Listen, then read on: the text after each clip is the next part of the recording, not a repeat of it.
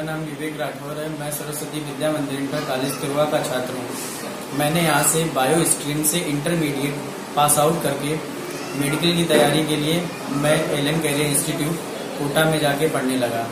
वहाँ पे मैंने अपने टीचर्स के बताए हुए निर्देशों को फॉलो किया और आज नीट में फाइनल सिलेक्शन लिया। मेरा ऑल इंडिया रैंक 1908 आया है। मैं इसके लिए अपने सारे टीचर्स अपने माता पिता बड़े भाई बहन और सभी लोगों को इसका धन्यवाद देना चाहता हूँ उनके आशीर्वाद से मुझे ये मुकाम हासिल हुआ है।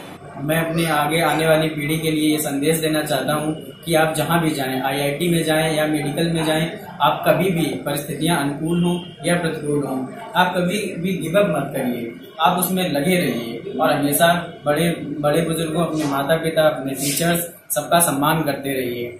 जैसा कि हमारे बड़े शायर मुनब्बर राणा जी कह गए हैं, यूँ ही चलकर नहीं ये तर्ज सुखन आया है, पाँव दाबे हैं बुज़ुर्गों के तो फन आया है।